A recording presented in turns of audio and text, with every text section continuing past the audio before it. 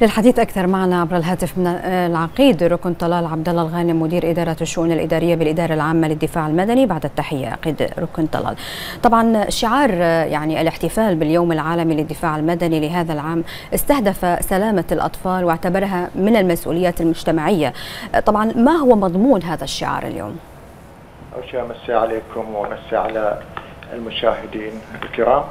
الحقيقة وفقا لقرار الجمعية التاسع للمنظمة الدولية للحماية المدنية والدفاع المدني الذي اعتمد في ديسمبر عام 1990 والذي تم بموجبة تحديد الأول مصر من كل عام الاحتفال باليوم العالمي للدفاع المدني. نعم. تحت شعارات مختلفة تبناها المنظمة الدولية للحماية المدنية والدفاع المدني ومشاركة المنظمات الحماية المدنية والدفاع المدني.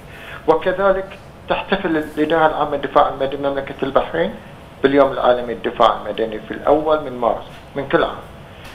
ويهدف اليوم العالمي للدفاع المدني للتعريف على الدفاع المدني بالمبادئ والخدمات التي يقدمها والعمل وعلى استلهام برامج وفعاليات من مضمون الشعارات. وذلك رفع مستوى الوعي والترسيخ مبادئ مبدأ السلام العامة نعم. إلى كافة الفئات المجتمع.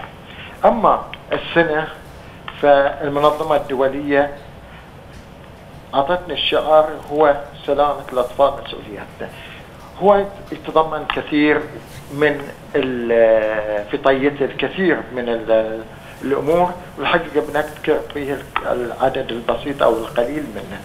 الحقيقة أولت وزارة الداخلية اهتمام كبير في وضع خطة طويلة المدى على حماية الأطفال من بداية من الرياض الأطفال إلى المدارس اللي هو الثانوية العامة. نعم.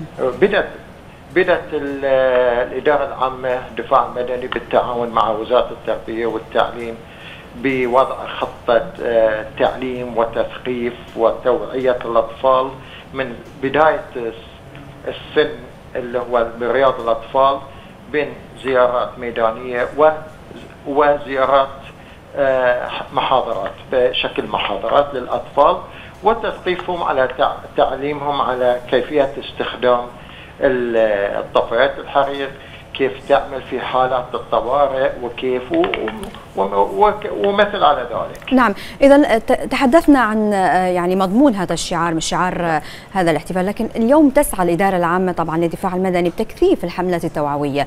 كيف لمستم؟ أو ما مدى انعكاس أثرها اليوم على المواطنين والمقيمين؟ الحقيقة وجدنا في منطلق الحرص عفوا منطلق الحرص على تثقيف المواطنين والمقيمين.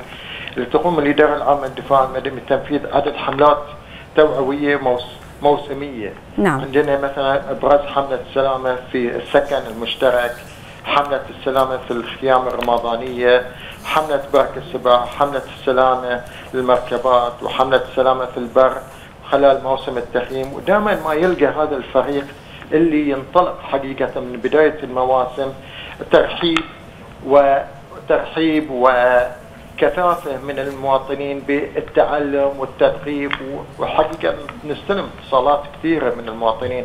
تعالوا يا جماعة علمونا شو نسوي في هالحالة.